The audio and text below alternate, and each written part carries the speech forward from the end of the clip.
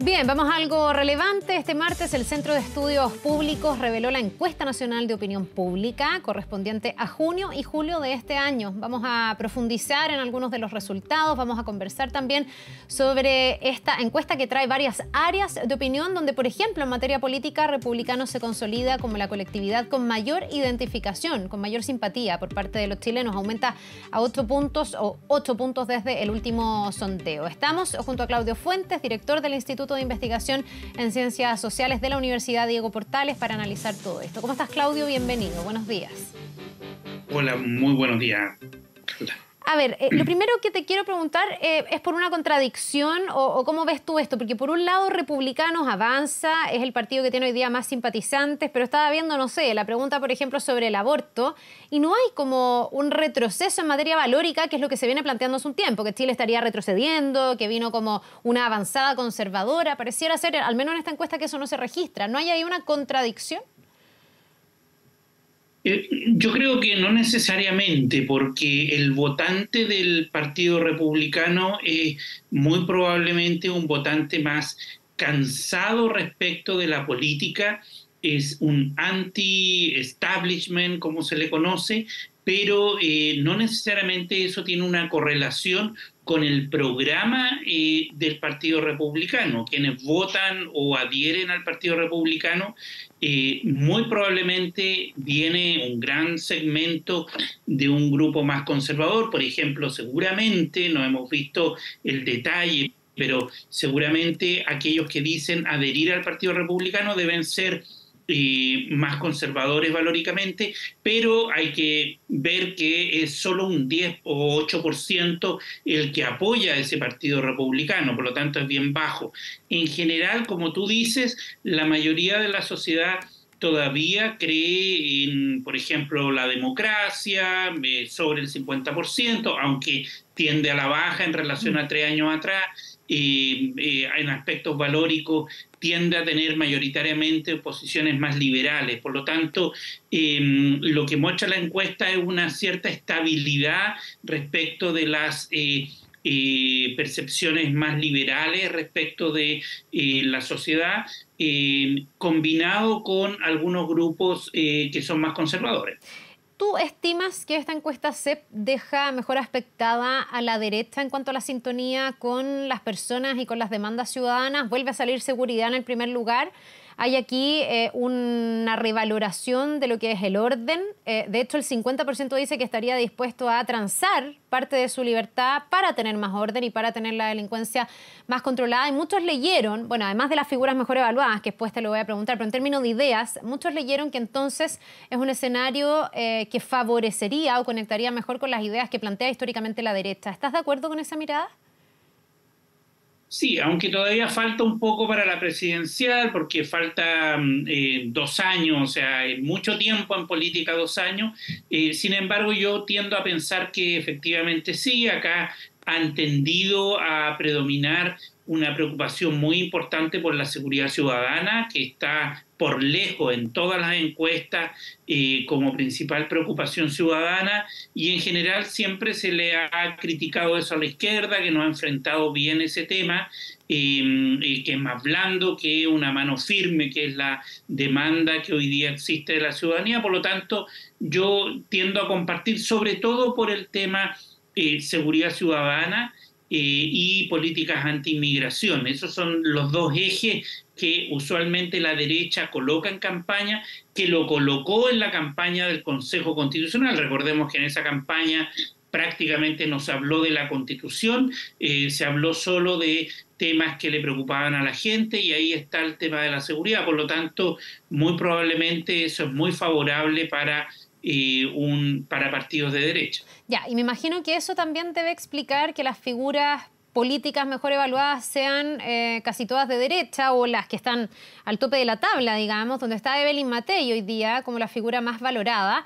Eh, ella además con una particularidad que entiendo que es bien importante para estas encuestas, Claudio, tú me lo, me lo puedes corregir o no, que es el nivel de conocimiento, porque Evelyn Matei reúne como dos cosas, tiene un alto nivel de conocimiento y tiene una buena valoración, además que no tiene tanto rechazo. Después viene Rodolfo Carter, que sí tiene una muy buena valoración, pero que tiene bastante menos conocimiento que Evelyn Matei. El tercero en la lista es Germán Codina, y recién Claudio Rego aparece entre los cinco primeros, que no es de derecha, eh, y dentro de estos cinco está Sebastián Piñera. Y, podríamos sumar hasta José Antonio Cast, ¿no? que está en la sexta posición, y recién en la oposición o en el gobierno actual aparece Carolina Toá como su figura mejor evaluada. Ahí estará la clave.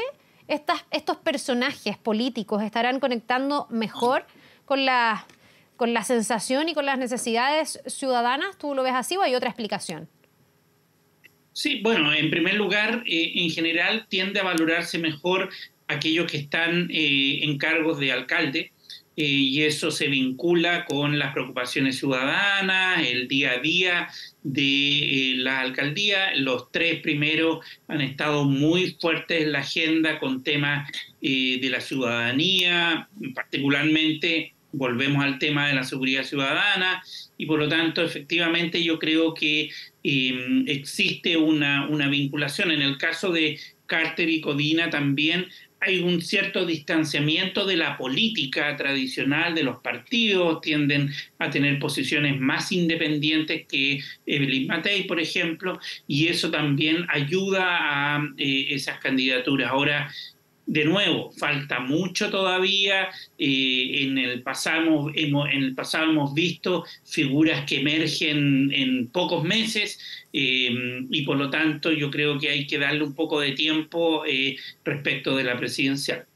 Sí, de hecho Franco Parisi, que es una de las figuras que había emergido hoy día hasta el fondo de la tabla y de hecho tiene más valoración negativa que positiva, digamos. Así que también el tiempo va cambiando las cosas. Ahora, Igual si uno lo empieza a expectar, eh, hay, volviendo al tema de los republicanos, ¿ah? me imagino que hay un desafío bien grande cuando republicanos hoy día está encabezando el proceso constituyente, que en todo caso a la gente, según esta encuesta, no le importa tanto, no lo encuentra tan decisivo en su vida, em, pero con esta buena aprobación a los republicanos, un José Antonio Cast que tiene una un alto nivel de conocimiento, porque ha sido candidato presidencial, porque fue el rival de Gabriel Boric en las elecciones pasadas, pero que está, como decíamos, en sexto lugar en esta lista. Dentro de la derecha y centro derecha eh, está más atrás que la derecha tradicional eh, y tiene además un alto nivel de rechazo o mayor, por ejemplo, una figura como Evelyn Matei. Tiene ahí entonces un desafío, un trecho más largo que recorrer Cast si uno quisiera aventurarse en el tema presidencial, ¿o no?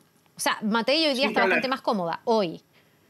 Sí, como tú lo indicas, efectivamente hay un tema de que, en primer lugar, en el caso de Chile se adelantó la presidencial debido a la debilidad del, eh, del gobierno, debido al propio debate constituyente, y por lo tanto está mucho más anticipada. Como esto es un, es un gobierno muy, eh, muy particular en donde hay elecciones todos los años, el proceso político se adelantó.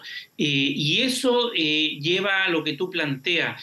Eh, yo creo que para aquellos que están en mejores posiciones, por ejemplo, Evelyn Matei, va a ser más difícil mantenerse en ese, en ese lugar porque va a estar obligada o expuesta Em, a, a, la oposición, a la competencia.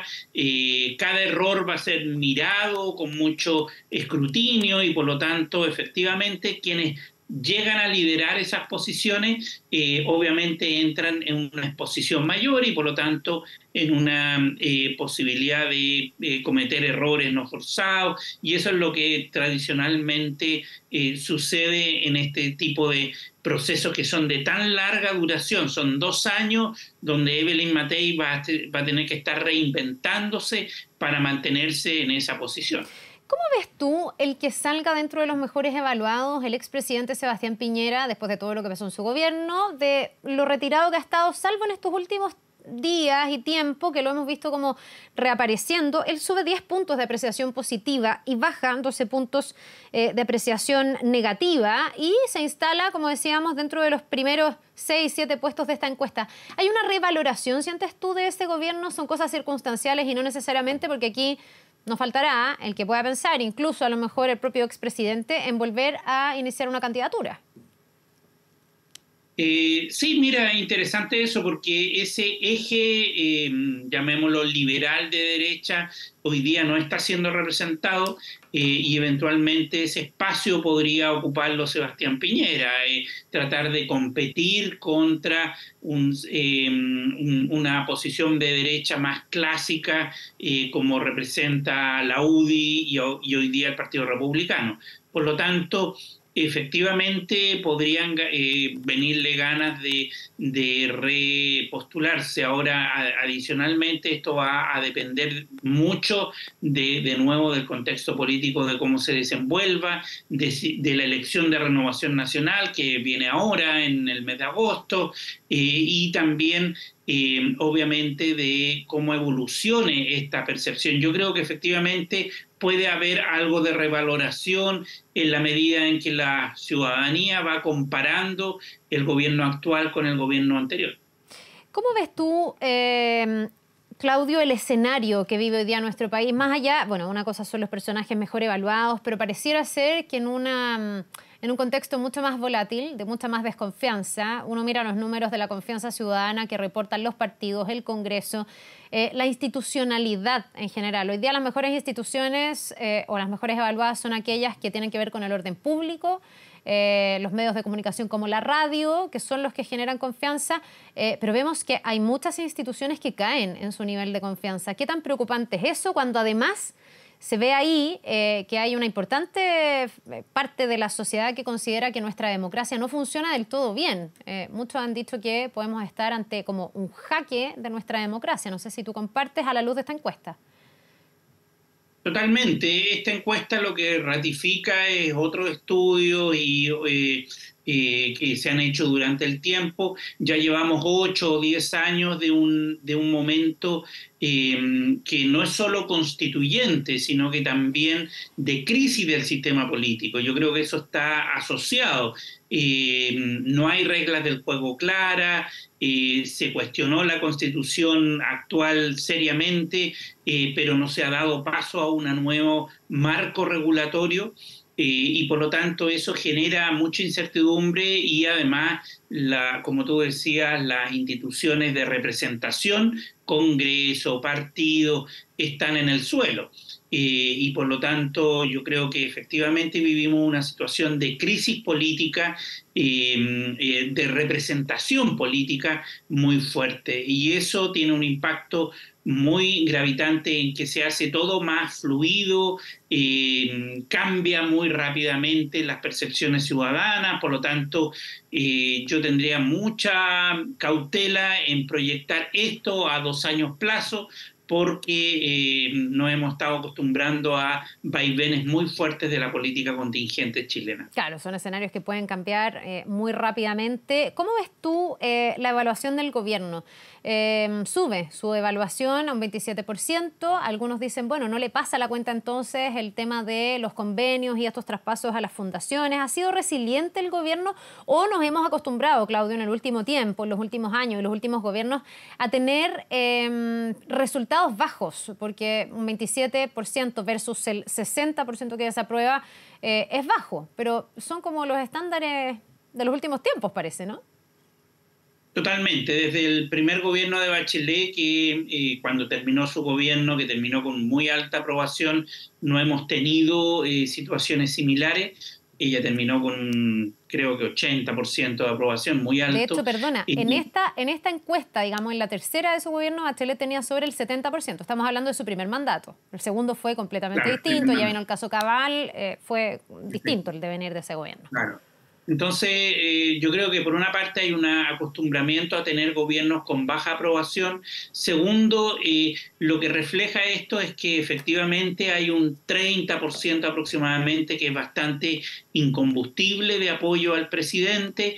Eh, ese 30% se refleja en que más o menos un 30% del electorado fue a votar por él en términos del total del universo de la población con derecho a voto, y, por, y, por otra parte hay un 30-40% que es incombustible para la derecha, y por lo tanto tenemos identidades políticas muy marcadas y un eh, segmento eh, apolítico que fluye y que eso es lo que hoy día se llama centro o el partido del ninguno, que es aquellos que no están ideologizados y que están variando de acuerdo a la oferta política que existe. Ya, para cerrar, me imagino que eh, esta como resiliencia que muestra el gobierno en el sentido de subir en vez de bajar, aunque este el tema de los convenios, puede tener harto que ver con el giro que ha ido dando en materia de seguridad, ¿o no? Porque en el fondo parte con un programa de gobierno con un énfasis bastante distinto, pero después el presidente Boric también se ha ido abriendo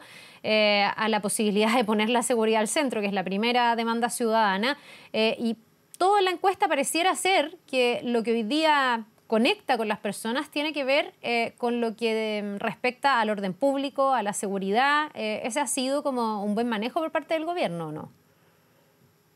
Em, sí, yo creo que, a ver, eh, aquí hay dos elementos importantes. Uno, el, trabajo de campo terminó el 12 de julio, de, por lo tanto, agarra o toma en consideración solo la primera parte del caso convenio, no es hasta la última Y no entran los robos tampoco y no entra los robos. Entonces ahí hay un tema que eventualmente podría cambiar la percepción ciudadana. Eh, en segundo lugar, efectivamente, yo creo que el gobierno eh, tiene elementos de flexibilidad, sobre todo el presidente, eh, que ayudan yo creo, a fortalecer la opinión respecto en particular del presidente, que ha tenido una, una, postura muy de flexible, abierta a aceptar transformaciones porque no tiene el apoyo político y por lo tanto eso eh, creo que eventualmente se podría ver reflejado en la encuesta.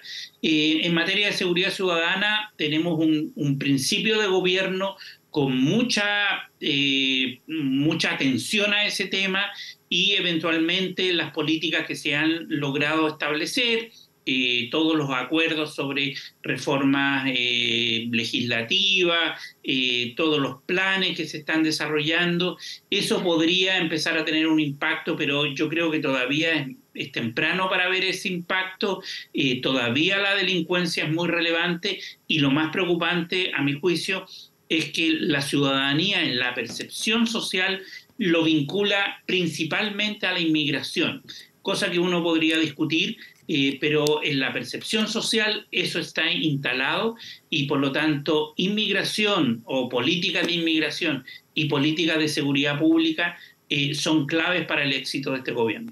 Bien, pues Claudio Fuentes, director del Instituto de Investigación en Ciencias Sociales de la Universidad Diego Portales, te queremos agradecer por haber conversado con nosotros esta mañana. Que te vaya muy bien. Gracias a usted. Que tengas un buen día. Ahora